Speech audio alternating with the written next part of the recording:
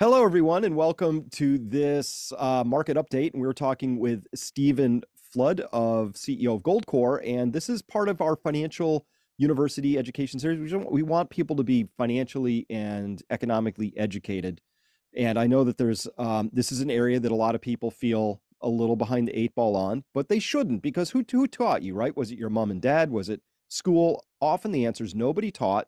We're just supposed to know this stuff. So we'll do whatever we can to make sure that you understand how these things work. We'll take the time to explain this, use a minimum of jargon, um, because everybody should understand this. Because, of course, this, I think more people are going to be impacted economically, financially over the coming years than by any other thing we've seen by an order of magnitude. So, with that intro, Stephen, welcome back. Great to have you back here. It's great to be here, Chris. Thank you for having me on.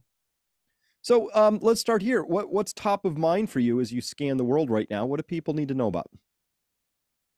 Well, it's um, you couldn't write this stuff, you know, if you if you kind of stand and look around economically, 360 degrees. Um, you know, you could you could pick a number of different super trends that are happening, and they seem mm-hmm. to be mm-hmm. happening all at once. And and I kind of I, I analyze myself, and is it, I think is it my own biases here? Am I like a, an older guy who's just a bit more risk adverse and I see things? And and then I kind of look at the data and I test it with friends and I test it with clients and colleagues and you know I mean the world looks a little uh, you know more unstable every day uh, economically. And I think what you're seeing is these super trends uh, you know I was kind of thinking in advance of our meeting today you know what will be the five top super trends to keep an eye on over the next 18 months? And um, the the, the in, in fifth place uh, we kind of we get we came up with like monetary destruction. Um, and what does that mean? But basically, mm-hmm. uh, the the you know the age old solution to every government's problem to print money uh, is now being used and has been used for the last 10, 12 years. Um, uh, to such an extent now, it's just been you know rolled out at, at, at, at every opportunity, and you know they have different names for it: quantitative easing, printing money, um, you know, um, monetization, whatever. But essentially, what it means is is that your money is being stolen as as investors, as as people who own companies have savings. Um, you know, you've earned, you paid your taxes, you have this in reserve and you're supposed to have a unit of measure uh, as a, a, um, as a safe sto- uh, item for storage that you can store your economic uh, good work in so you could use it elsewhere uh, uh, in, in a monetary system. And what's happening is they're printing it. And, um, and, and to the extent that, you know, the, the Bank of England last week just, you know, and I think it was probably on page two of the Financial Times, just kind of said like, you know what, we need another 150 billion from the Treasury uh, to, to, to pay for the losses on our books uh, from these monetary experiments. And yes, we know we only estimated a, a, few billion, but it's an awful lot more. It's coming in at 150 billion um, which right. is which is astonishing. Uh, and and if you think about like the entire UK economy, I believe, now I could be wrong here, they only take in something like 70 billion a month uh, in tax revenue, and they just got a bill for 150 billion. I mean, can you imagine if your mortgage suddenly just jumped and you had to give up two months of your of all of your income to pay for it? Um, and, I, the bond yields didn't even move um, in, to any great degree. I mean, in any other decade, this would be a huge monetary story. The point is, is that monetary destruction is happening all around us. Uh, we are being debased, our savings are being stolen, and yet it's well, not it, creating the kind of. Yeah, sorry. Let, let me. I want to. I want to cover up on one of these things though, because when yeah. you say like you know, there's 150 billion of losses sitting there on the central bank's books. Yeah. Well, this is accounting identity, so where did somebody has 150 billion gains on their books, don't they? Well, I, su- I, suppose the, the bonds that they purchased uh, have been revalued with interest rates rising. So yields go up, the prices of those bonds are going down. So the the the, the institutions that sold the bonds to the central bank aren't nursing the losses that they would ordinarily mm-hmm. have. Um, um, um, and so the central bank is now is now holding that risk. Um, and well, to and me, so this is a great point. Great point because to me, this is the whole. This is exactly what we've been talking about all along at, at Peak Prosperity. Is this idea that the central bank set the conditions for artificially low interest rates, right? Which made the yeah. bond prices artificially high. And then right before they're ready to go on this rate hike campaign, which is going to reduce the value of those bonds, they went out and bought them. So this is privatizing gains and socializing losses because now they're saying uh, who's on the hook for the 150 billion in losses, right? It's got to be Well, it's the it's the country, it's the taxpayers, Joe right? Public. Joe Public. Joe. Public, yeah. Mm. All right, Yeah, carry and- on. Sorry, it just always catches no, me when I when it's put that way. Yeah, but also those bonds are also sitting on banks' balance sheets, and, and hence you have the banking crises, which Mhm. again you had during the week a story where you had like, I think I think uh, you had two banks that were were rescued again, uh, and the financial press then posited that this was a great success because this rescue happened within the private markets. It didn't require a government bailout.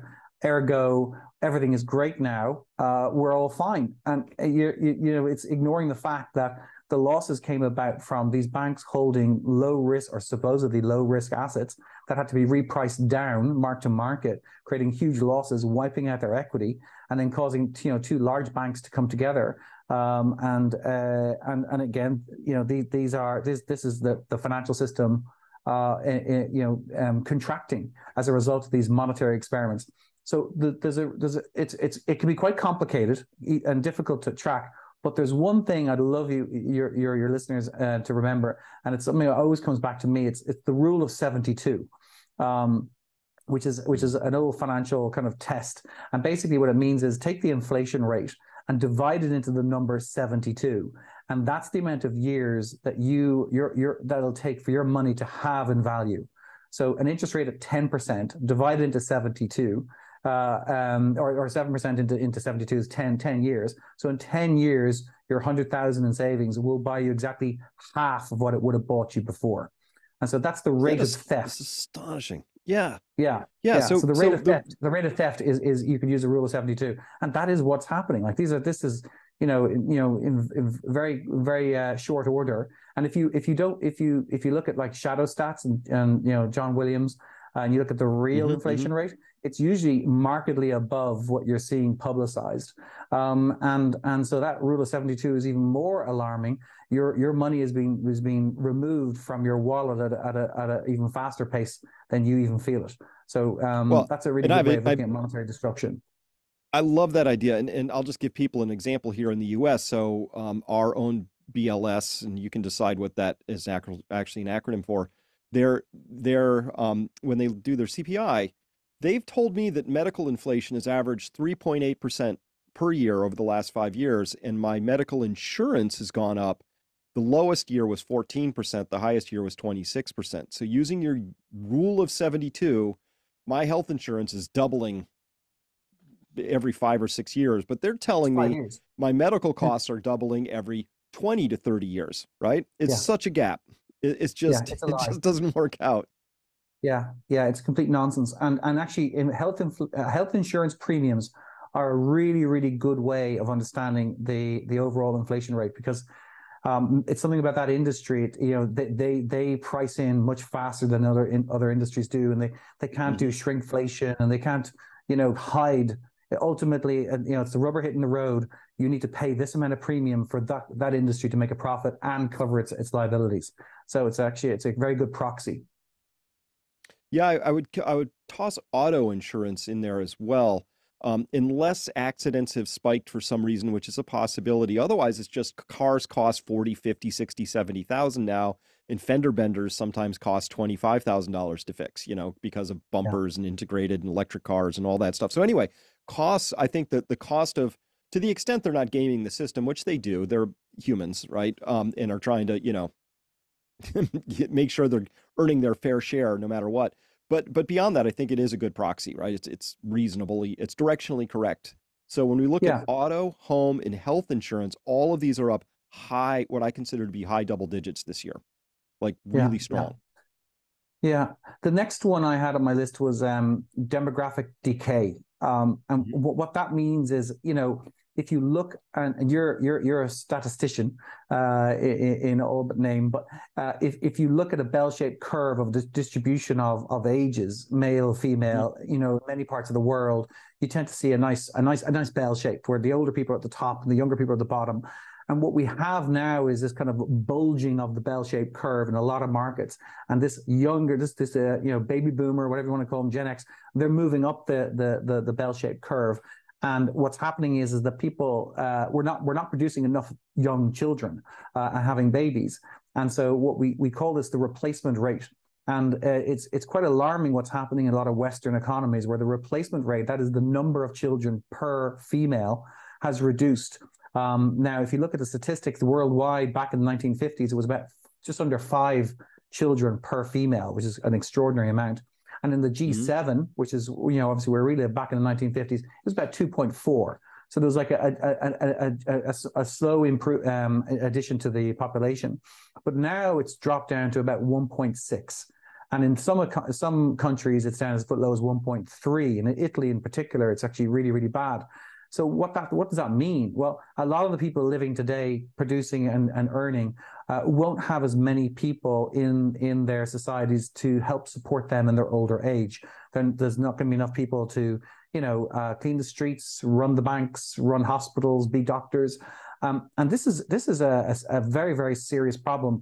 And and I wonder what happens if the current cohort of you know childbearing aged women decide to forego having children and mm-hmm. decide, you know, for economic reasons and whatever whatever reasons they have that they don't want to have children, what happens to to to the generation of 40, 50s and six, in their 60s as they become older? Um, who, who's there? Who's going to to to assist them in their older age? Um, and what does that do to our economies? You know, does it become deflationary? What happens to our assets? What happens to our finances? Um, so I do think that there's a, a significant economic problem uh, that's building in the system right now? Uh, the answer is obviously to bring in more um, migrants uh, into the system and to um, you know to onboard them into whatever systems we have and um, and and to to take up the slack. But what's what's happening there is in these uh, developing countries, their populations are crashing as well. The growth of population is actually falling uh, very very fast, um, and because they're beginning to you know become more middle class and less lower class um, and they don't want to have as many children uh, uh, in their households as well. So uh, it's a worldwide problem. Um, I'm not sure where it goes, but I do think it creates economic dislocations uh, and something to watch. It's kind of a super trend. Yeah, and, and I, I, I gave a, a little face because I, I distinguish between I think immigration is is a is a good thing, right? And um, but immigration is a policy, and it, and you have an understanding of who you're trying to bring in um, and you have some sort of a process for that. Whereas refugees, whole different process. That's just you're taking people who, by my crude estimation, when I look at these things, I see boatloads of men, mostly of a certain age, right? And they probably have a fairly random, but no, probably not random, probably a lower level of skill sets than average, I would think. You're probably getting people who need to economically migrate from an area potentially, right? So it it's not it's yeah the, the replacement I think has been done eh, to the extent it's been relying on refugees in Europe in particular very haphazard um, and and not really well thought through. And of course, there's a cultural adoption rate that you can only there's only so fast a culture can absorb people before there's other dislocations and disruptions that you have to then manage. And so, very complicated situation, but um, yeah, I think it's been managed poorly. That that's my assessment so far. Well, I think you're being kind saying it's been managed. It's not been managed at all. Um, I think it's been just it's just happening. You know, and and I think you know um, immigration is fine, but you have to have integration, and you have to have a policy of integration in terms of how do you actually make the make the best lives for these people who are coming to to our countries, and how do you do so in a way that's sensitive to the local population too. Um, and that you know that's you know language you know and i'm not saying it's it's indicative but you know if you look at france and and the recent uh, riots that were happening there, right. a lot of the time they were um, there were people from get- ghettos who uh, and youth who did not have uh, much structure in their lives, did not have much opportunity, had been excluded from you know French life and French opportunities, ec- the economic um, um, opportunities uh, available, and uh, and and that that that's a sad indictment of of of, uh, of governments who are seen to be inept, uh, and I don't think it's just a French situation. I think you will find that in, in Britain as well. They seem to be completely lost when it comes to this matter. We do need more uh, immigration, um, but we needs to be done in a proper and sensitive manner and, and based on skills and based on education and and not and even upskilling people who arrive on our shores as well. So, um, but I, again, if uh, ultimately that might just be putting off the problem. If it's a global phenomena and we become much older in the next 30 or 40 years, um, what does it look like? I mean, are we going to have robotics? Yep. You know, robots doing all our doing our, our bidding, or, or or what? I don't know what the answer is, but I do think it's gonna it's gonna it's gonna create economic problems. Well, it will, and we already have. Um, I I was shocked by it, and I was surprised that nobody else seemed shocked by it. Um, but the General Accounting Office came out in December of 22 with a report that said, "Hey, the United States Social Security Trust Fund, which isn't a trust fund, it's a group of IOUs from the Treasury. It's one branch of the government telling the other branch that it owes it money." and counting it mm-hmm. as an asset on one side of the books. It just doesn't make sense, right? It's me putting a million dollar check from my left pocket into my right pocket. It's it's nonsense. But at any rate, um, uh, they have they came out with this report and they said, oh, the whole trust fund, even such as it is, is completely gone by 2033, which is, as far as I'm concerned, tomorrow in this story, right? And that's astonishing. And that's at least in part driven by this dynamic you're talking about. We have 10,000 baby boomers a day going into retirement. So they're drawing from the system, not adding to it. And there's relatively fewer people adding to it. And then there's other complexities. The Federal Reserve totally screwed a generation, right? Ran interest rates down so they couldn't form households. They have so much money going into paying for cars, student loans, housing when they can afford it that they can't start businesses.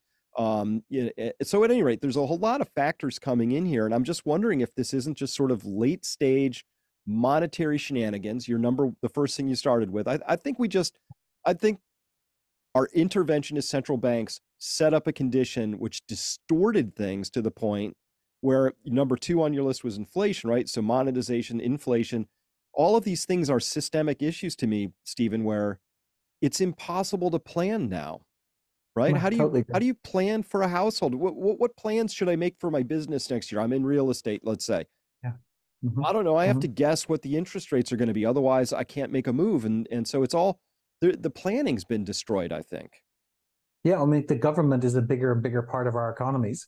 Um, they are um, without fiscal constraints. That means that they can spend without any kind of consequence. You know, so they can. You know, the Treasury of the UK can run up 150 billion bill, and the mm-hmm. market doesn't blink an eye. Um, why is that? Well, that's because basically they are the bond market. We don't have any way of punishing bad policymakers.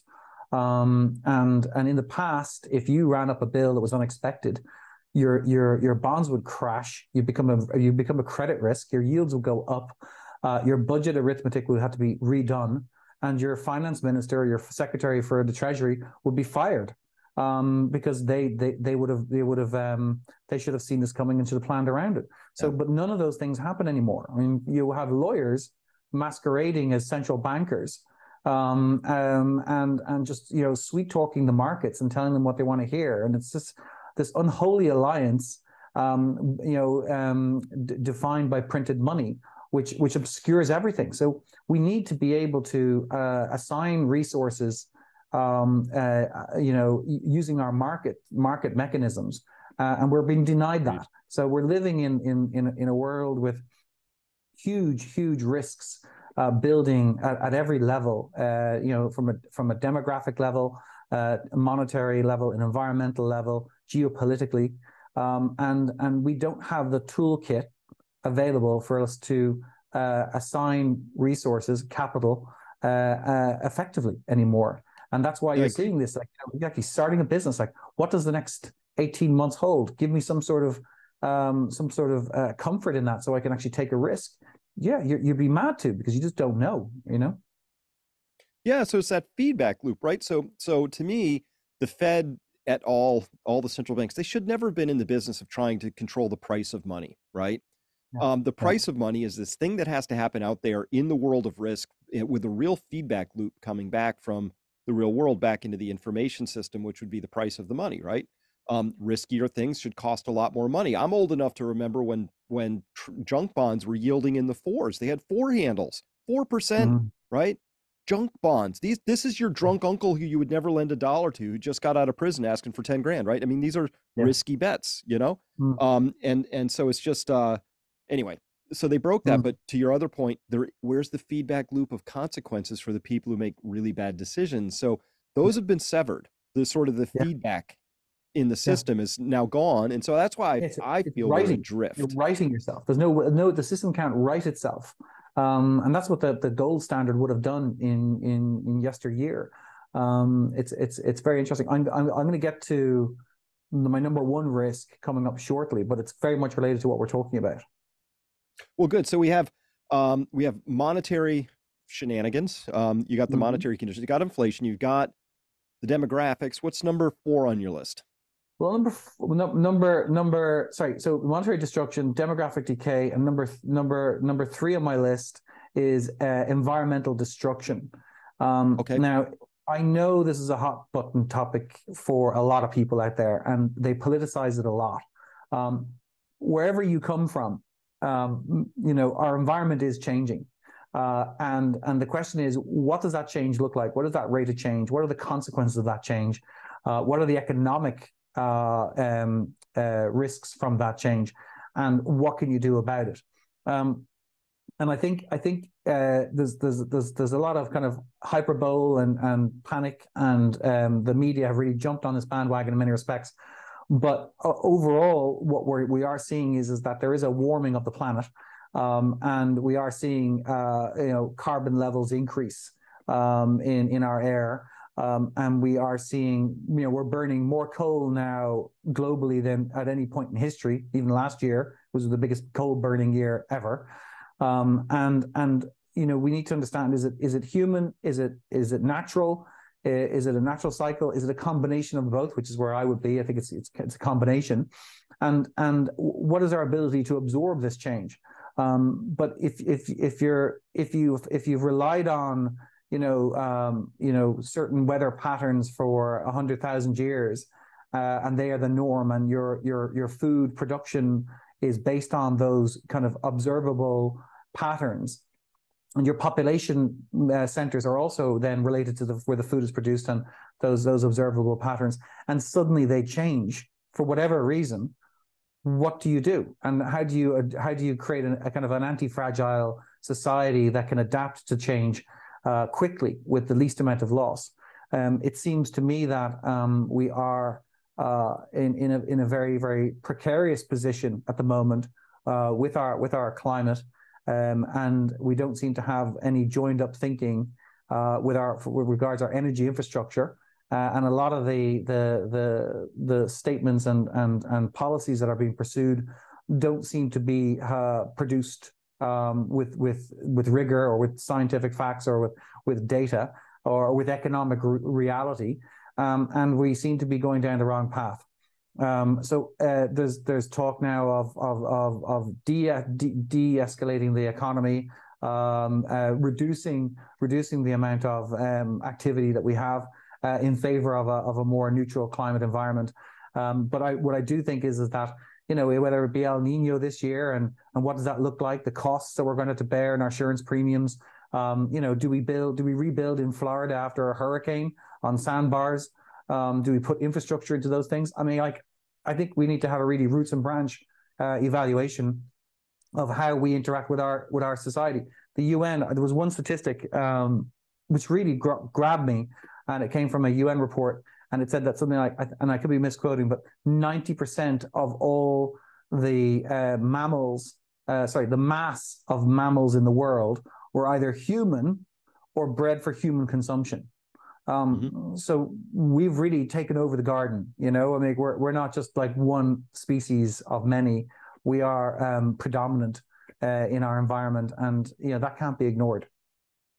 No, it, it can't. I, this is a subject I, I touch on quite a bit um, because I care a lot and and I care about all the life forms on this planet. It's a beautiful, wonderful thing. I love nature. I, I I'm con- constantly astonished by what evolution or God has managed to come up with. You know, an octopus is a strange, wonderful thing. So is an elephant and all this. At any rate, what we're seeing now is um, collapses in some really vital ecosystems, and I, we don't know what we're doing. So we're still humans hopefully AI comes along and helps us manage complex systems because we're not complex thinkers, generally speaking, but our political mm. system is totally dead linear and very ego driven and, and just not fit for purpose here. If the purpose is to figure out why we have a roughly 75% collapse in insect mass, let alone species counts, we don't even know what, what's going on there yet because it hasn't been studied. I mean, there's a few graduate students on it, but that's about it, right? So we are, Stephen, we're busy collapsing a 480 million year old food chain. Do we have any clue what that means? We have no clue what that means, right? it alarms yeah. me. It alarms me like the people who are like, oh, we have a plan. We'll just spray sun blocking stuff way up there in the stratosphere. I'm like, whoa, whoa, whoa, whoa. Slow, slow that down. Because if you do that and it doesn't turn out like you thought, that's a 40,000 year recovery cycle as that stuff slowly drifts out. Like we're playing with, wow. I feel like my metaphor, I call it monkeys with machine guns. We can pull the yeah. trigger, we can observe the effect, but we have no clue how to rebuild it or what's actually happening or what the consequences are. I mean, it's, it's, we're doing things that I worry are irreversible. And I'm old enough to remember, I saw a very different ecosystem from people who are being born today and coming into this. This is their baseline. Yeah. My baseline yeah. was very, very different. Right. That's well, I remember like, I, and a lot of people have said this to me as well. And I remember as a child, like you'd go on holidays, you didn't fly anywhere, you drove. And and right. when you got to your destination, the amount of bugs on your windscreen or your your windshield were just like extraordinary, you know. And yep. you go now, and there's hardly any bugs in your windshield, um, and and it's just just the truth. For me, uh, and, and I have a, and I, I, may have mentioned this before to you in a previous conversation. Um, I have a very very good friend of mine who runs an organic farm in in in Ireland where we buy most of our meat as a family, uh, our mm-hmm. chickens mm-hmm. and our lamb and our beef. Um, yep. and it's all organic. It's beautiful. And he set the farm up about, I don't know, 10, 15 years ago. And I remember he did him, he was telling me it was a regular farm before, and they used to spray it with Roundup and glyphosate. Um, and they had mono monoculture grass, and they had large beef, and they just used to trod these huge, big monster animals. Uh, and then he said when he went to organic, uh, it took him about ten years or so to transition to organic. Uh, and then he has now he has multiple different uh, grass types, and he has small cows that don't pound the ground and turn into concrete. Um, but what he did say is when they when they took over the farm, about 300 acres. They had a uh, an audit done of the insect species per acre, and there was something like 80 different species in that traditional farm per acre. Now I could be wrong, could be like plus or minus. Uh, but then mm-hmm. 10, 15 years later, when he when he got the survey done again, the number of species had blossomed to like 250 or 260. Um, uh, again, don't quote me, but it was an extraordinary rise in species based because they'd gotten rid of all of the chemicals that they were using. Now, the productivity of that farm in terms of total output would have been less.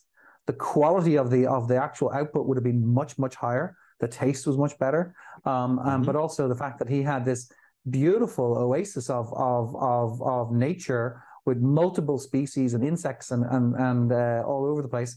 Um, it was just incredible, and like uh, it is it is the most miraculous place to go. I love going down there with my kids and learning more yeah. about what he's doing and, and his whole family. It's a, an incredible story but it, it well, tells probably one of these places of our, of our that intensive can... agricultural practices. Oh, absolutely. And these are all things we can do, but I'll bet that that sense you get is kind of almost on a energetic level when you step into a place that's well managed and it's abundant and the natural systems are all vibing. It just yeah. feels different, you know. It's alive and wonderful, yeah. and um, yeah, it's, it's energy. Yes, the energy. It's hard to quantify. I'm sure if we broke it down, maybe we could, but it's you can just feel it, right? It's like pretty obvious. Um, you know, and you go to a, a mono industrial farm and it's just it's just dead. It's just death. Yeah. You know? So yeah. and that's part of it is we can't we can do things better. Like like to me, whether you care about humans, we go, okay, male human sperm counts have declined 50% in 40 years. It is just a straight line down. And we might self-interestedly say, that's not cool so to me, the first thing you would do is you'd say, let's rewind the clock. What have we introduced in the last 40 years chemically? Because this is an environmental toxin, obviously, and it's global. So mm. we can start fingering culprits. We can say, well, what's global? You know, and also what's new? And we could start asking questions. And then we could ask, can we live without that stuff? What if we just pulled that stuff off the market for a little while? You know? But that's not yeah. how we're operating right now. It's just more stuff and out it goes and yeah, it's, like, it's really incredible. It's incredible. I, I was looking at a video. Um, Sir James Goldsmith. Um, I think that's his name, Sir James Goldsmith. He was a, a billionaire, um, and he was around in the nineties, um, and he was arguing against the adoption of GATT, the um, the precursors, the World Trade uh, WTO, WTO agreement. And what that was doing was going to bring in a lot of developing economies, India, China, into the, the global trade agreement and remove tariffs and and he was arguing he's like going well this serves the people who own companies and it mm. serves um it's it, it what it does it goes against society and it's not in society's interest Um, it'll take two billion of the three billion people that live on the land out of the land and into the cities. And mm. and what will happen? Um, those people won't benefit necessarily. They'll they'll just they'll, they, what will happen is you'll have um, uh, a loss of of uh, the environment, um, uh, intensive agriculture, um, and huge consequences economically, and the loss of jobs in the West. Um, and he said it's not necessarily about getting the most food and the most profit, but it's about serving society. And we need to think on those terms. And he argued an awful lot. He died a few years later. Um, but it's a it's it's a Charlie Rose interview. If anyone's looking to to to, to dive into it, I couldn't.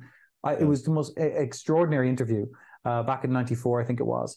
Uh, so you should look that up, and and, and it really it really it, it, there's an awful lot of truths in it that have now come to bear, and our and our environment is suffering terribly. Our water courses are poisoned. Our insect population has been decimated, and uh, and our and our populations are you know not being served by um, intensive agriculture. And I think it's it's it's been found out. You know.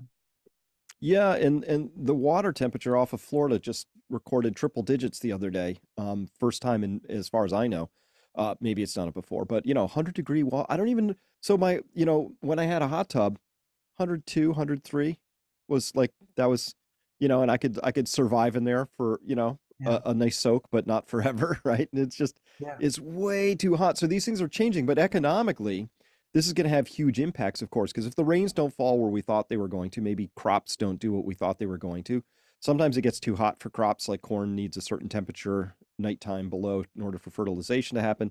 Uh, there'll be hurricanes, things like that. We'll see. Um, you know, the correlation there is kind of uh, tricky, but you could imagine with 100 degree water, maybe maybe a ripper or two might come out of that cauldron. But uh, it, it feels like we're gonna. These are costs that have not yet been factored into any plans that I've seen, and of course, it's a concern. I think that mm. we should we should have a little we should have a little spare in the budget. You know, a little little little capacity for unplanned uh, things like this.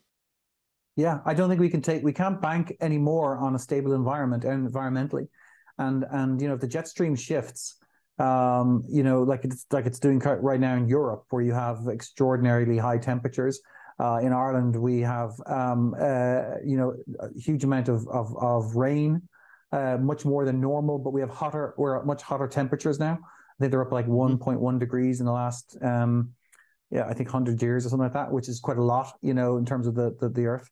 Um, and so uh, there's there's change of foot. Um, these systems are finely balanced, and and it doesn't take much to go through a Rubicon and then to have something shift.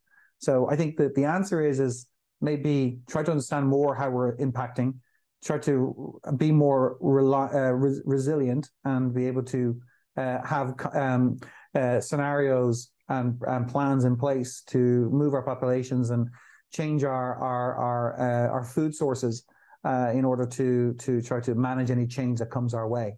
But we can't just well, sit back and hope it doesn't happen. No, I, I, I get that, and and here's the thing that bothers me though is um let me just that made too much noise. Let me just turn that off. Um, is that there we know how to do these things, right? So so let, let's just let's just take the argument to to one place. Um, to me, it's completely obvious that nuclear is a viable technology that we can control well, that we should be using, and I just watched Germany sh- shut down and actually physically destroy its last three operating nuclear plants. And of course, now it's burning lignite, and that makes no sense. It doesn't make any environmental sense. It doesn't make economic sense. It doesn't make grid stability sense. It doesn't make any sustainability sense. It makes no sense whatsoever. But here yeah. we are. You know, it's it's bizarre. I, I, I cannot explain that decision. Uh, it is just it is, it is I think it's one of the worst policy decisions I think I've ever heard when it comes to energy. Um, and and and you'd expect more from the Germans. You know, they they they they're they're you know they're known for their pragmatism and and and uh, logic and you know um, yeah I, I just don't understand it. It's just it's just bizarre. You know, it is. It is so. So maybe we that feeds into um your, your next two bullet yeah. points here. So so what are they? So my number two, and uh, I feel like I'm doing like a chart show here for music, but number yeah. two on my list uh, is the is the geopolitical uh, dislocations that we're seeing. Um, mm-hmm. And what does that look like? Well, you're you're seeing uh, rivalry uh, geopolitically uh, for um, global global hegemony um, um, and to usurp the U.S. government um, in in the in the shape of China uh, and their um, their ongoing um, recalibration, let's say, of Asia and the, de- the, develop- developing world. Uh, China has been um, is, is, obviously a, an incredible incredible economic success, um, but in its own domestic situation, uh, they've only known really one one one one way economic growth. They've never really uh, had any contractions, and now currently they're experiencing contractions um, in their in their economy. They've they've used debt, leverage, um, a huge amount of export markets, and they are being um, um, I think, hunted now uh, geopolitically, economically by the West, in particular the United States, uh, with tariffs. They're being shut out of technologies. Um, they're being um, goaded on their doorstep in in in Taiwan, and they are um, and and all of that, all those things are are bad. You know that they're not good for the world necessarily. But when you have a contracting domestic economy and the people are now looking at their leaders and they're going, well, you know, I'm poorer this year than I was last year. What are you doing? Uh, and, and, you know, the playbook forever and a day politically has been, you know, it's not me, it's the guy across the street, it's the immigrant, or it's the the bad country over there, or mm. it's the, you know, it's somebody else. And so they try to find a bogeyman to blame.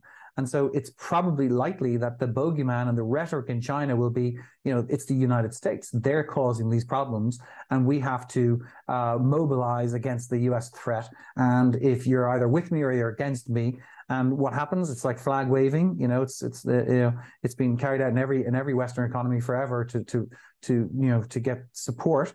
Course, uh, yeah. They are they're more likely to to find themselves in a uh, a conflict situation over Taiwan or elsewhere or in Africa or wherever else. And they're building naval bases. They're building up, they're bulking up their army. And mm-hmm. uh, their rhetoric internally is like, we don't care. Um, um, we're going to do it our way. And uh, they're, they're seeking to disengage with the US because they feel threatened. Um, now, I'm not saying whether any of this is right or wrong. I'm just saying it's consequential. Um, and uh, you know, when you have Russia and you have their foreign reserves, you know, taken off them internationally, their central bank mm-hmm. reserves, you have the weaponization of the dollar. Um, um, if you're a developing country or you're or a country outside of outside the favor of the United States and Western um, uh, uh, countries, um, you will be right in thinking that you need to reduce your dependency. You need to to mm-hmm. join like-minded friends, uh, and you need to be ready to stand up to defend yourself. Um, so it's it's when you have a multipolar world it's an extraordinarily dangerous place. All most world wars never happened or never never planned. They they they happened by accident in many cases. Uh, escalations happened. The generals took over. They pushed a button when they shouldn't have. You know, we've dodged it a few times. You know, Bay of Pigs and Cuba. Um, you know, we didn't. You know, in terms of you know Vietnam. You know, in terms of how that started. You know, it, it was it escalated over time, not by design, but more by consequence. Um, and we found, you know, found that in a very, we were in a very difficult situation. So um, I, I, I worry about this multipolar world, this geopolitical dislocations that are happening, uh, and and the, the brazenness of it, and the rhetoric that's coming about, and how people will will will will vote in the next election. You know, given a, a threat, a perceived threat, it's uh, very very dangerous. Yeah. And I think, yeah, that's in the next eighteen months. I think you're going to see a different world in eighteen months than you do today. I mean, it's that it's that immediate. I agree. Um, and and there's uh, it's very obvious that China diplomatically is just cleaning the West clock at this point in time, all across Africa, Middle East, um, and Asia, obviously, and and they're very diplomatic, of course. So there was a moment of diplomacy uh, at the time of this recording that happened just about a week ago that I'd like to get your thoughts on because I was scratchy record moment for me. It's Henry Kissinger, hundred years old, centenarian getting on a plane, traveling halfway around the world, which I don't know what it takes to do that at that age or what would convince him to do that. He goes to China, meets with all the top level people there state dinner, President Xi, top economic, military, etc. Um, what was that all about, would you think?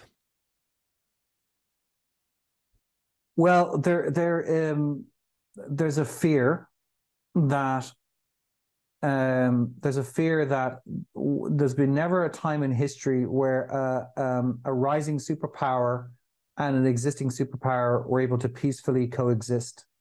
Mm-hmm. That they always came to, uh, to conflict, and you know that that conflict can be total, and with the amount of firepower, um, monetize, you know, free money, so you can you can you can mobilize the treasuries to you know, to turn every factory into an arms producer. Um, with social media, you can control the masses like you could never do before.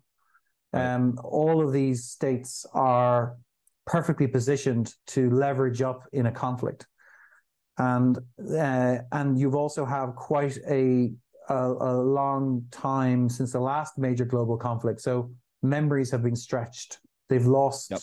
They've forgotten what it is to keep peace, to fight for peace and they they don't know what it means.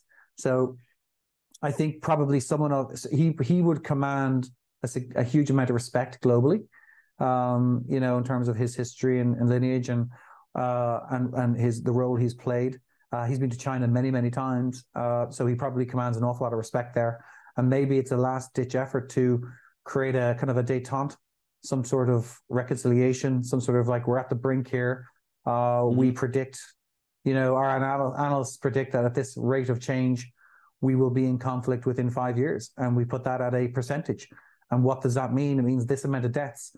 Are you prepared for that? Um, yeah. And so, you know, I think that's probably what's happening there. You know, it's it's a it's a de- an act of desperation. Yep, I, I, would agree. I would agree, and I think this ties into uh, what's number one on your list here, because um, it all ties. Yeah, number one, and it's it's you know they're all huge. They're all massive super trends. Um, yeah, any one of them is, is extraordinary. Number one is the de-dollarization, um, and it's probably the least sexy one on the list. But de-dollarization, what does that mean? For the last hundred yeah. years, we've had you know you know you know a, a dollar globally that has underpinned economic growth all around the world. Um, and in particular within the United States. I mean, one of the most extraordinary economic um, uh, stories w- w- the world has ever seen. Um, and it's it's in large part there's been a number of things. Obviously, it was underpinned by gold uh, for a long time, but the, the U.S. administration at the time, once they de- delinked from the gold and at the, at the expense of the French and, and everyone else, and everyone else has got in line because you know you, you you were a price taker, you weren't a price maker. The dollar was king. Um, is that they they they they um, talked to the Saudis into the petrodollar. Um, and and and all oil exports around the world became dollar priced, and so uh, countries everywhere in the world who are importing any energy from anywhere had to have dollars in reserve in their treasuries, uh, uh, uh in their central banks in order to pay for energy imports because most countries are energy importers.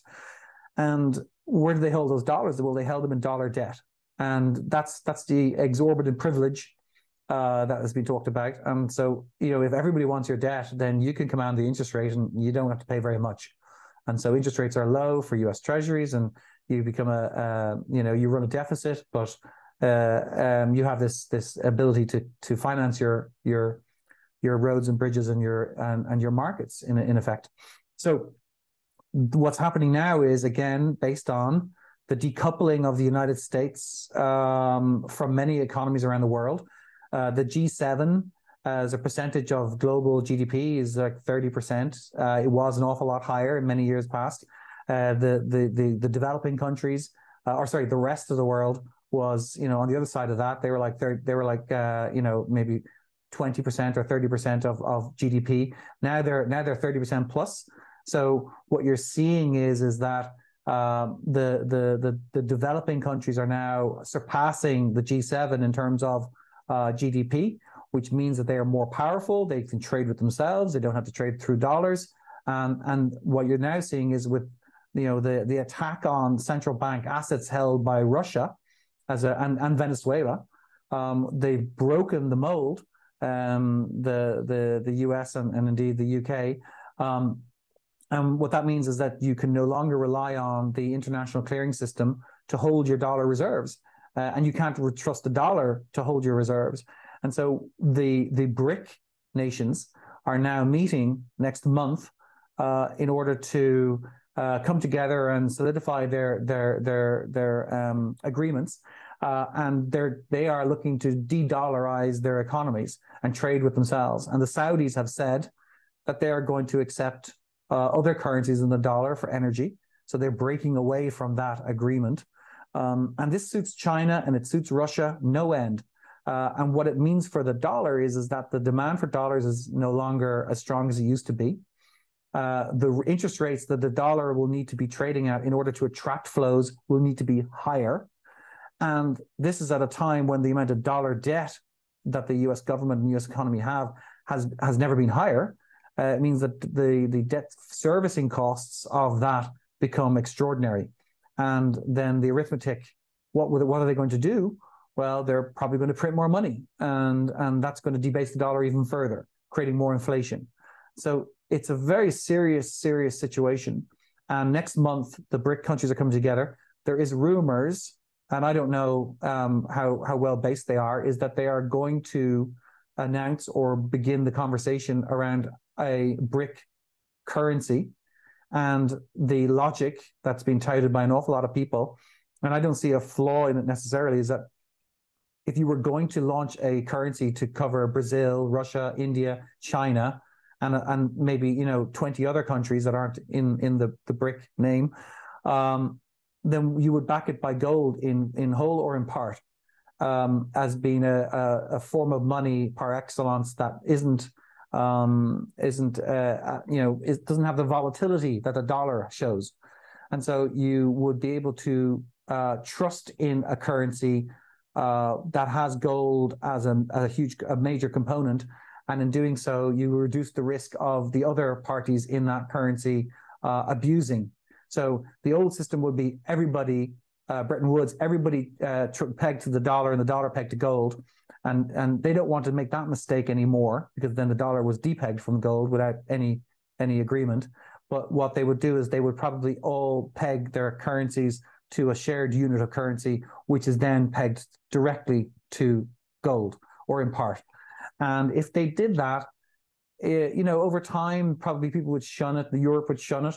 But over over time, I think, sorry, immediately they shun it. But over time, they would probably begin to to go there because the interest rates would probably be lower, the volatility would be lower, the stability would be higher, and suddenly, if you're looking to set up that company that you talked about before in a year's time, and you want to borrow money, well, hell yeah, I, will borrow in BRIC, you know, in BRIC BRIC debt, and I know I probably feel a bit more comfortable about that because it's based on, you know, how many billions of people in the world all working away.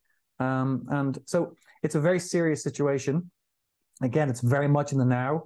You know, the next 18 months, you're going to see this develop this story uh, with the BRIC nations. And I don't know what the Western press are going to, how they're going to spin it. Probably, you know, they'll, they'll, they'll be uh, serving their masters in government and say all sorts of horrible things about it. But it does make a lot of sense. And, um, and we'll see we'll see what happens. Fascinating. You know, I, I forget the name of the system, but I saw that in Africa they're already doing cross-border settlement trades in their local currencies, specifically to get away from the dollar. And somebody told me recently, and I'm drawing a blank on who it was, but I thought it was very profound. They said, you know, when China shows up, they show up with some sort of a benefit. You get a port, a road, a bridge system, something cool. When the United States shows up, you get a lecture. You know, and and so uh, that that's my sense of sort of empire politics. You know, we show up with lectures and we we scold people, and you know, diplomatically. I mean, at that level, not me. Um, but it, it's it's this sense too that there's this crazy ESG sort of like uh, it's a um it's like a morality play. The United States is showing up with a moral lesson. It, we don't care about what your culture is, what you care about, you know, what works for you. We're going to show up with a lecture that you should have you know more trans people or or more women or more yeah. whatever it is you know more green energy and it won't matter if those things pencil out for you or make sense or any of that so we'll show up with a lecture and of course the stick in this story is if you don't you know adhere to our lecture like we can really mess you up using the dollar and then it got weaponized fully with freezing sovereign reserves of Russia's central bank in February 20th 2022 that that's the starter gun in this thing i think um, oh, and of course, so all of mm-hmm. that's happening. And, and the way I read it, I could be wrong, but everybody I've talked to said when China shows up, they treat you diplomatically, they treat you well. Um, you will be listened to. They won't have a particular point of view about who you are and what you do on your own time, but they would like to conduct business, you know, and can we set that up, Yeah. right? Which is Mm. a, a, a more constrained package than saying you have to buy into all this stuff, which by the way, we could change tomorrow fickily. We might have a whole new thing at the top of our social credit score slash interest priority list, you know, and we'll we'll let you know. That's- Yeah. That's how that's how it seems from where I sit. Yeah, I mean, like, and it's it's um it's it's very very interesting. I think someone told me once that that that the the the play of the Chinese when they go into the, these foreign markets is they build that port. Uh, they do it for free. They create a, a debt burden. It's manageable, um, and then the when the when when the local government default, which is almost ne- inevitable, um, then that then they then the heavies come in and they they start extracting serious concessions over mining, which is always their their longer term objective. Uh, Mhm. That playbook is is is root and branch the American, British, Belgium, French colonial playbook from the 50s and 60s, um, where they raped and pillaged these countries. And what worse, what they did was they told these countries, you know, which are extraordinarily wealthy in terms of resources, you know, we'll extract your goods, um, we'll extract your resources, we'll turn them into turn them into goods in our markets where 95% of the profit is captured, uh, and we'll pay you uh, on our terms. And they stopped them then through these trade agreements from exporting any finished goods to these markets, thereby um, impoverishing them forever. Uh, and so they never, never really raised above uh, at a very basic economic level, and they had, you know, the, the people were were you know you know suffered as a result, and they had poor government, and and and these people, the the government were paid off in many places. Yeah, I'm generalizing here, but the playbook is just to take their resources and enslave those local populations and deny them access mark to markets, which is not capitalism at all. It's it's it's kind of corporatism, um, and it's and it was it was done with the with the full blessing of of our governments in in the West. So the Chinese Yeah. are doing that in many respects. Um, the last, um, there was, you know, they're, they're the five major um, super trends, but there's one we haven't spoken about, which I'd love to mention if you don't mind, um, which is AI. And Ah, you did touch yeah. on it. You touched you touched on it earlier, um, and it's it's just such a fascinating. Um, I don't know what you call it. Like it's it's it's it's it's it's an enormous unknown variable that's It's a entering into disruptor for sure. It's a huge disruptor for yeah yeah absolutely. Uh, and and we're we're you know uh, you know us nerds are you know you know gobbling up everything we can learn about it now to try and you know understand what the pattern is.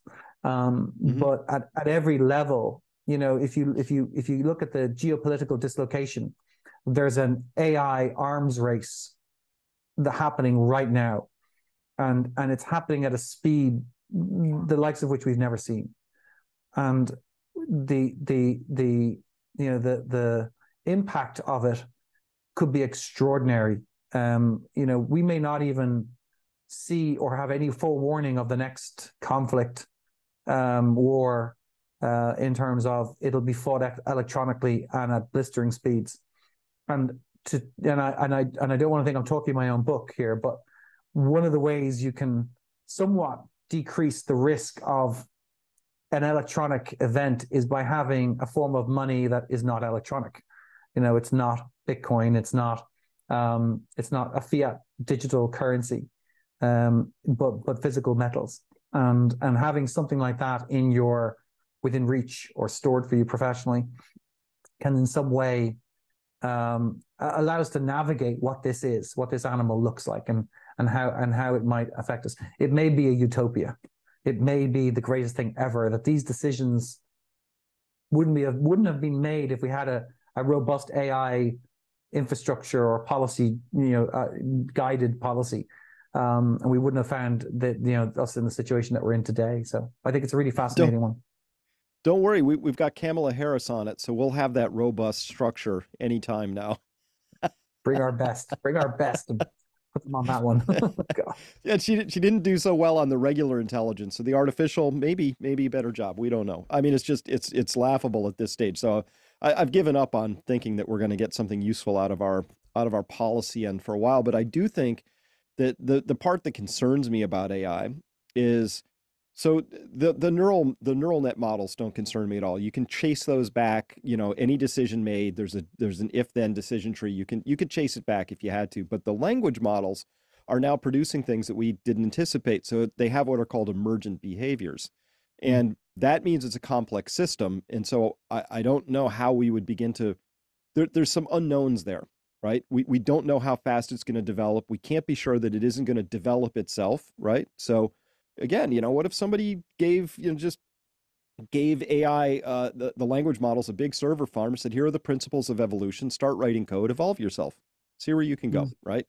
We don't know where that would end up or what it might do, you know, and and if we were writing some sort of a, you know, if I was going to write a, a fantasy sort of a sci-fi novel about this, I would have this thing achieve a, a, a logic state that said, you know, I want to preserve myself. It atomizes itself. It puts a piece of itself in every device out there.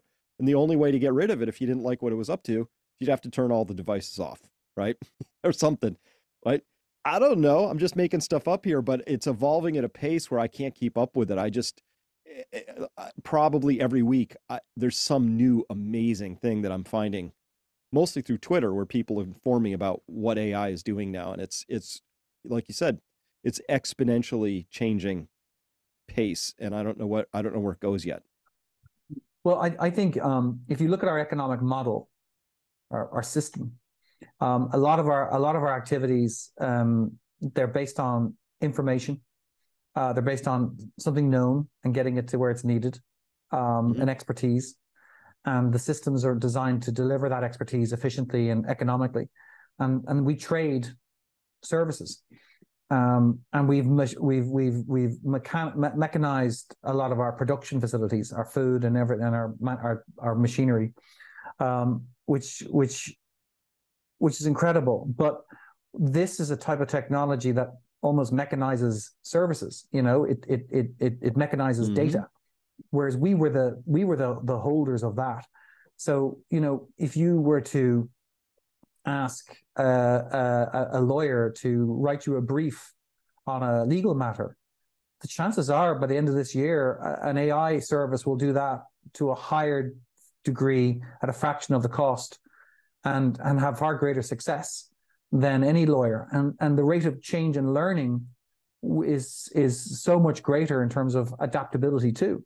So going the go forward value is, is extraordinary uh, right across the entire spectrum of human activity, wherever we have services and wherever we have data, uh, you know, aggregation, uh, use, analysis, delivery, they're all up for change at a, at a at a very rapid pace. So, what does society look like? What are these really smart people, these smart lawyers, smart auditors, tax, you know, architects? What are they going to be working at? Well, I think I think anybody out there in a profession, I think the ones that use AI as part to enhance their services will out will will will soon outpace and out uh, and, and outperform anybody who doesn't.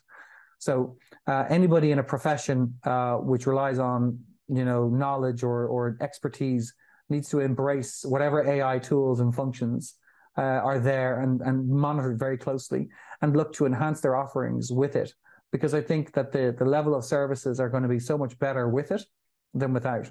And hopefully security security has to be as a key. If we can get past this stage and keep our networks intact and secure from attack, um, I think that's going to be very important. If we can do that and have AI defending defending uh, systems that can stop um, you know n- bad actors from taking down our systems, hackers, um, then I think we'll have a good chance of addressing some of the problems that we've we've been talking about to date and evolving to a next level.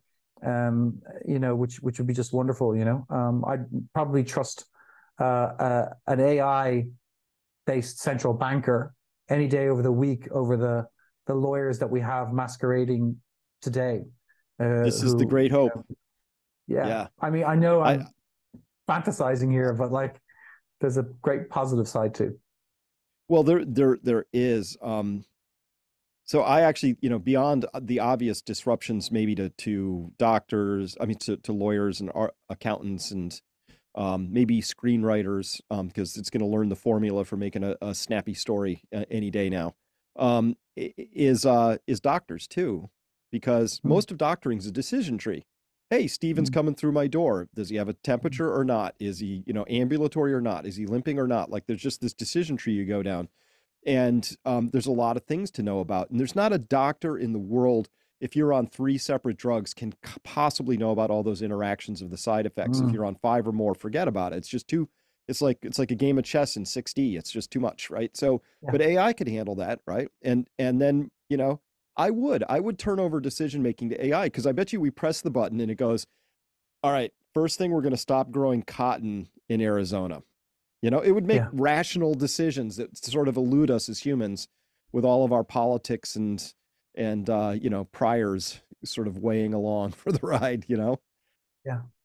Well, ra- rational evidence-based decisions.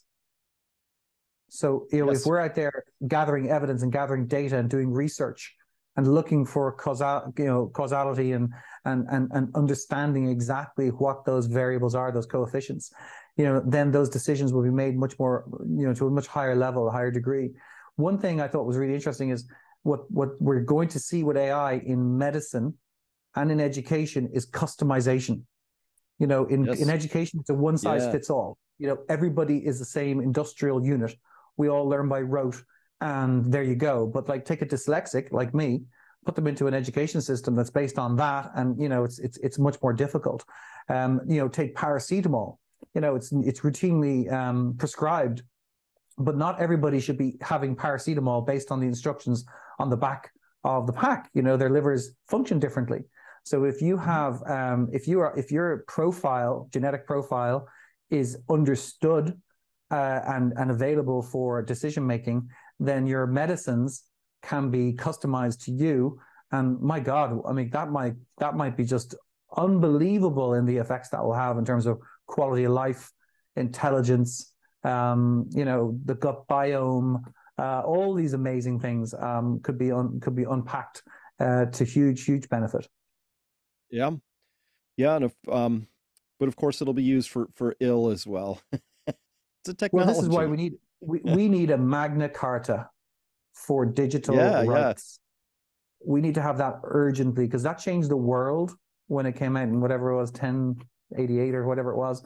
Um, right. Again, I'm probably wrong on that, but we need that for yes. the digital world. You know, we need a Magna Carta that sets out the law and, and our rights. You know. Well, have you heard about so, the so-called WorldCoin, which was actually put forward by the guy who's the CEO of ChatGPT's company, right? Um, saying that we need this digital identity so that we can separate humans from non-humans. And I'll tell you, I'm I'm of two minds. I'm always a little suspicious when somebody has some sort of a big brothery, let's track this and digital ID. There's there's a lot of things that have to be thought through on that front. But I'm not against it because I will tell you this, my experience on say Twitter of over the past few years is more and more and more it's bots. It before they were fairly easy to detect, but now they're not just sort of like this bot. Everybody sees this bot. I am convinced that the bots know me per, more personally and I'm getting nudged, shaped. You know, there's these things happening, which actually is is kind of like an experiment on me without my informed consent, right? It, it's th- there's a lot of danger in there, and whether somebody's trying to nudge me towards a certain product or a political stance or a candidate, it's happening now, and I can see it. And I've I've decided I, without the faith, the trust that I know what I'm dealing with anymore, I'm getting dangerously close to just flicking that off and saying I can't I can't be in this environment because they're too good. Like they're, yeah, well, these no, bots are yeah, really they, good. They know more about you than you know about yourself. Uh, they, they, I think, was it? Um, I saw there recently that is it? I don't know, Target or one of these big chains. They can they can monitor you in their stores, whatever it is. They can tell when you're pregnant before you know you're pregnant, but just the way you ah. interact with products. Yeah. Um, Facebook needs 17 data points um, to predict you know your decisions going forward and what you're going to look at. Um, I think they they actually create uh, a, a, a, digital twin of you uh, in order to to to um, allow them to predict forward your actions. No, we need to make the person sovereign uh, digitally. You know, we need to have a digital sovereign uh, legislation that very, very specifically guards against manipulation um, and takes away sovereignty. Because if you manage the information someone gets, you're denying them free choice. uh, and and you're manipulating them for your own profit-seeking exactly. purposes, and that you know that doesn't actually serve the corporations engaging in that behavior long term. That actually erodes the the our societies uh, and turns us into kind of you know these um, you know zombies. Um, it's it's it's it's very very it's interesting. I mean, like again, if you look at it, there's there's you know our our, our young people. They were saying that I was looking at this and and, and recently, and, and, and there was some commentary around it. Thing, older people will look at this and disengage completely. They'll say, "I don't understand it. It's too scary. I'm just going to go to ground, um, climb into mm-hmm. a cave, and you know whatever." And they just disengage from society. Younger people will try to get ahead of it. Some of them um, but some of them will not. They'll actually, what will happen to them, they become uh, in, entrapped by it. They'll have digital AI girlfriends. Uh, they will uh, be gaming. They'll just be consuming information all the time, being you know um, sensitized, uh, and they will not have any real power to define uh, their environment or their their their their prospects in any real way. They'll just be consuming information like zombies. Uh, and then you'll have those the, those one co- the cohort will will engage with it and drive it forward. But you know, we need to to go back to Jimmy Goldsmith back in the '90s. We need to look at the bigger picture here and serve society, and we need to very quickly get our act together from a legislative legislative point of view before the lobbyists get control of the narrative. And my God, they are trying to do that right now. Uh, these yeah. big tech do not believe a single word they say about oh it mm. needs to be controlled we need to slow it down. They are just trying to go do a land grab. They're on their horses they've got their flag they're you know they're riding across wyoming right now and they're trying to grab as much land as they possibly can.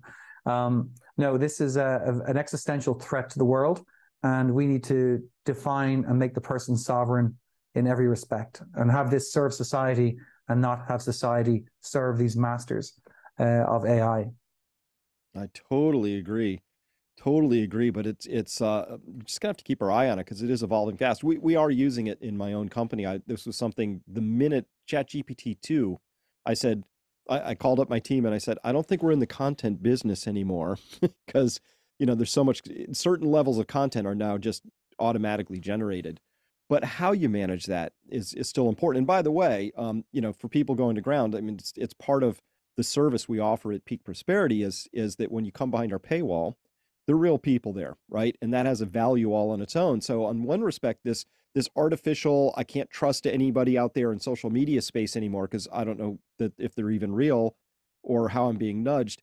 There's a currency value now to to being with with people you can trust because we all have to sort this out, right? And we want to sort it out on our own terms and how you interpret all of this data we've just been talking about from your position in life, the country you live in, the company you run, all of that, it might be different from mine, and that's fine but we need mm. real people you know parsing through the data as best we can um, without a without you know those those ai motives under there you know yeah i agree, I agree completely yeah we're moving from yeah. big data to and we need to get into big communities absolutely absolutely I, I think that's the trend going forward that that's where i've actually yeah. staked a lot of um, my company's direction is that you know once upon a time it was information so i created the crash course now i believe in i want people to connect and to the extent we have an internet, we can connect that way so we can find people we're simpatico with across miles. But ultimately, it's about how are we going to reconnect with our, our communities where we live, you know, and, and that's the that's the big challenge. and that's what's under attack, you know, with these refugees and with the declining population and with the monetary shenanigans and all of these things. It just it feels like it's fragmenting us. And I think we need to go the other direction. We're going to need to pull together more more mm. tightly to get through these next sets of years. Yeah, no, it, it's um, it's the prize is there to for the for the taking. Um, we have extraordinary opportunities ahead of us, and um, but it we're going to have to work for it, and we're going to have to collaborate. And I think you're right. We said about communities, and we, I think you call tribes. You know, and and you've you've got a, a tribe there uh, on Peak Prosperity, which is superb. Um, you know, we were looking at your your portal today, and and admiring how well it was produced, and and the the, the comment section, and how you know active it is, you know, where you have a lot of really good, you know, good people there, and and it, the work you do is just tremendous. You know, I know oh, it's you know in some ways it's a job, but it's also a vocation. It's obviously a vocation. and yeah. uh, and it's I think um, it's great. Yeah, no, I, I just um, I think I think uh, if if you're if you're watching this and you don't have a peak prosperity account and and uh, I'm not getting paid for this, but you should definitely um, you definitely sign up because I think uh, it's really about getting more signal uh, and less noise and and and having a respectful place where you can collaborate and and ask good ask questions and get and get good answers. And that's the only way we're going to really as a tribe navigate the future you know? Wow. Uh, thank you for that. That was very well said and i should pay you for that. It was it was so well done but um mm-hmm. so yeah i mean as we close out here me, but... no but thank you for that. Very authentic. I appreciate that a lot. Um and and as we close out here i do want to talk now about um, gold and silver. By the way, full disclosure for anybody watching, I am irresponsibly long gold and silver, and I have been for a long time. Um, and I intend to stay that way. And the reason for that, I could show you chart after chart of monetary debasement. And my study of human history suggests that people always want the free lunch. And so um, I don't judge that we have anybody sort of Paul Volcker esque on the landscape who's got the the gravitas and the backbone to do anything other than what we've seen for the past 30 years, which is print, get in trouble, print more, get in larger trouble, print even more, get in huger trouble, print even more. I think we're just in the next, and probably close to one of the last gyrations of that particular, you know, ever increasing amplitude, you know, thing. So that's where gold and silver come in. And, and that's why I, I love GoldCore. I love working with you guys. I love the, the comments we get back from people about how well they're treated because customer service is everything to me, but as well, the actual structure of your service. Awesome. Really good stuff. So you're very kind. Uh, yeah. I mean, we, we have a 4.9 out of five rating with our clients and we started collecting them in 2012. So, you know, um, wow. you know, it's, it's, it's, it's, and we have, you know, that's, that's extraordinary. It's not me, it's the team. They're amazing. Uh, they're not paid a commission to sell gold. It's it's really about winning a customer through service and execution and making sure we do exactly what we say we're going to do. Um, we don't we don't um, we don't there's a there's, there are some some operators out there who will you know bait and switch and and and and and switch you into high premium products and you have to be really, really careful who you deal with. You know, typically my my golden rule is if they're advertising on TV, you should not be calling them um, uh, because they they're probably not a, a, you know they're not running their their their business as well as they should be. Um, so it's uh, you know we're we're we're we're really proud of our record. We're 20 years in business this year. Um, and we we basically, I suppose, we specialize in in storing metals safely around the mm-hmm. world uh, on a segregated, allocated basis. So you know, your mm-hmm. metal goes on the shelf in a box next to my metal, which is in a different box, and they don't mix. And if you want yours moved or sold, it's yours. Yeah. It doesn't say it on our balance sheet. It's not on anyone's balance sheet except the client's balance sheet. You know. Yep. That's what we do. Segregated is a, yeah, it's a big deal. Um, so you know, making sure everything's insured, all this and that, and and as well, um, I mean, obviously, I, I I believe everybody needs to have some physical gold and silver in their hot little hands. That's you know that's your insurance policy. But beyond that, it becomes a, a, a either a maintenance or a security risk to have more, and having it securely vaulted and stored is is a, a good solution to that. And then, of course, now given the geopolitics, I don't know what's going to happen anymore. Um, you yeah. know, so so Evie, my partner, and I, we have these every so often. Like it sort of comes into the conversation, like do we even know which country we're going to be in in 10 years? We, we don't know right? So there's um yeah geo we you need the true diversification you know the the the jurisdictional um jur- sort of thing is is yeah, uh yeah. it's actually on our minds these days as much as hard as it is to say that. I had i had a client on the phone just as you're speaking there in terms of the variability about your circumstances. You know you just don't know um and I had a client today on the phone, and he sent me a text message, and he said, um, I, I, think like five clients have my mobile, by the way. he got it somehow. But anyway, mm-hmm. um, so he sent me a message and he said, I urgently need to raise money. Uh, so I called him up, you know, 10 minutes later, and he had a tax bill that came out of the blue and he had to pay it. That day, he had to send in a check. I don't know what he was doing, whatever, you know, it happens. So he had to sell. Um, we he had uh, we sold two one thousand ounce bars in Zurich, um, and we had the money in his account within uh, I think it was an hour and 25 minutes um, for those Oh. bars. So they were liquidated. Uh, they were on the shelf, liquidated, uh, and the money was in his account in about an hour and 25 minutes. And then he had collected his bank draft and was on his way to make payment on that tax bill, which would have had consequences for him. Um, but you know, it was it was a great example because it doesn't typically happen that fast. By the way, I'm not saying everything happens that fast, but where you can mobilize an asset that is real money um, that it can't be printed, that's sitting in a vault in Switzerland in, in a non-bank institution, uh, segregated with a serial bar number on it. It was the same bars he bought, you know, ten years previously, and uh, liquidate them and have a you know cash in his account to meet a liability. Uh, was extraordinary. Um, you know, it's, there's not very many assets that you can do that with, and I suppose you know we're very good at what we do, but the market for metals is very very liquid. There's a huge amount of people buying and selling uh, assets, uh, and and we work with all the biggest refiners in the world and mints, um, and we're um, we also just became um, we just joined the LBMA London Bullion Market Association, which is a huge coup. Uh, I remember I was speaking to you about our application like a year or so ago, Yes. and we got Yeah. through and we we became the Congrats. first new cohort of dealers uh, in that inst- in that in that uh, that that uh, association. So we're really proud of that, and uh, and um, yeah, it's great to serve our customers. Well, fantastic. So, any, anybody who's thinking of um, buying and storing gold, please check out GoldCore. And um, if you come through our website, we've got we've got uh, special deals for people who who come through. Um, and uh, anybody, if you just mention, you know, you've heard for this through the Peak Prosperity interview, they will treat you even better than excellent, which is um, hard to do. if they give us five stars. yeah. No, um, yeah, no, there's a special there's a special uh deal there as well on the Peak Prosperity site. Um uh, we work well with with you guys. I, I, our customer our, we have the same exact approach to customer service, you know, and our customers, you know. Um I'd say it's a vocation in some ways. Um, but they can sign up there and and that way we can we can track it all the way back. So um definitely do that.